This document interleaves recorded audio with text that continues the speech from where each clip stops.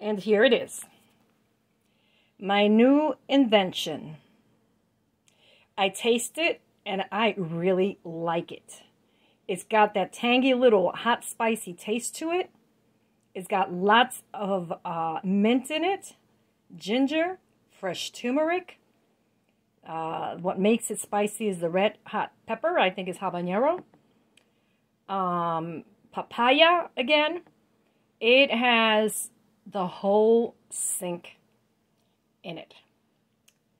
Did I say it has ginger? Ginger and red pepper actually go well together. And I got this idea because uh, Mexican people like to put, they mix the mangoes with, with hot spiciness. And so I figured I'd try it, and it, it actually is good, and you build a tolerance for it, and uh, spice is good for you. It helps your digestion.